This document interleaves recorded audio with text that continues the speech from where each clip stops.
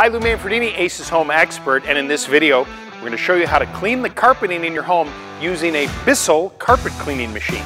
Okay, this particular machine probably weighs about 30 pounds or so, so the average person should be able to lift it and transport it around fairly easily. Okay, to make your life easy when it comes to cleaning carpeting in the home, the first thing you have to do is get rid of all the furniture. I know, don't you wish it was that easy? But now, with everything cleared out of the way, you can do a thorough job.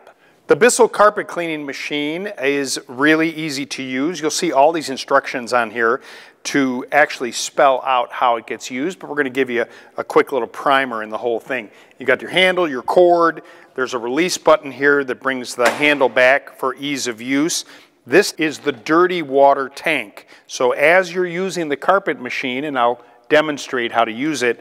The dirty water is going to go in here and then you're going to dump that out. At the bottom, this is the clean water tank where you're going to add the clean hot tap water and solution to actually do the cleaning of the carpeting. This cap comes off and what's unique about this unit is you can take it over to the sink and you can put it underneath the faucet to fill it up and then put it back in there. And there's a measuring cup right here that you can put the solution, the cleaning solution into, and then you just carefully pour it into the tank, seal it back up, and then go ahead and put that reservoir tank on the top of it, lock it in place. Now I'm going to show you how to use it. With the room completely empty, now you're ready to start using the carpet cleaning machine to get it as clean as possible. Now keep this in mind, if there are trouble spots where you know that you've got some staining, you may want to pre-treat those areas using the proper treatment to get that broken up, you know, so that the carpet machine can do a really good job. I like to start in a corner and work my way out of a room and you're just basically going to draw the machine towards you and you're going to keep kind of working your way almost like cutting a lawn, but in this case, you're cleaning your carpeting.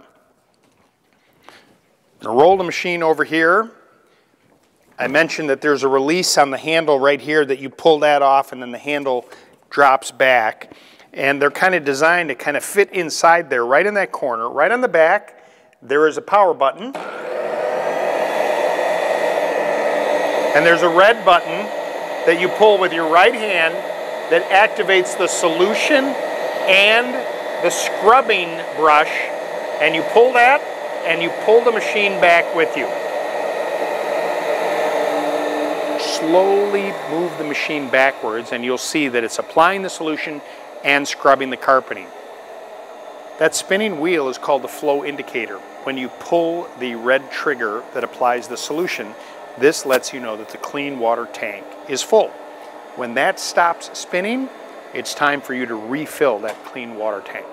And once you get back to a certain level, release that button and come back just a little bit more so that you don't build up a lot of uh, wetness on the carpet, and then reposition the machine for the next pass. Now there's a couple ways you can do this.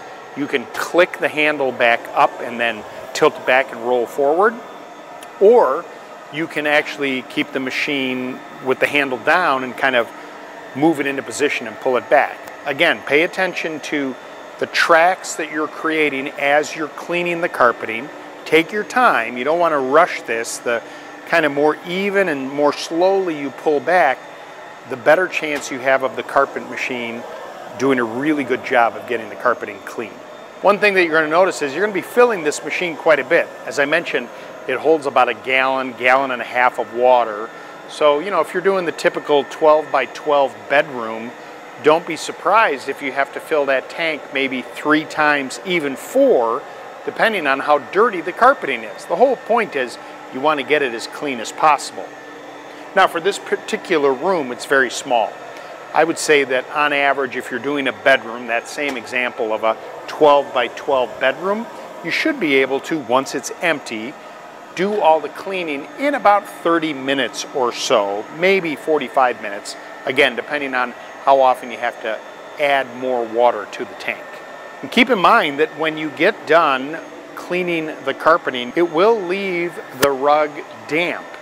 And it's a good idea if you can avoid moving the furniture back in for a couple hours, say, that would be the best bet. If you'd like to speed up the drying, then maybe take a box fan or something to blow across the carpeting to speed up the drying process. And a lot of people wonder why you wear shoes when you're using a carpet cleaning machine, but when you're using any kind of tool, I think it's important that you wear uh, the right footwear to keep you safe and protected during the process. Just make sure your shoes are clean. Coming up next, my video on how to clean the carpeting on your stairs using a Bissell carpet cleaning machine.